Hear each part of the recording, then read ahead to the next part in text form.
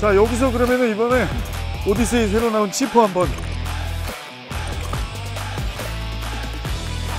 좋지 않습니까?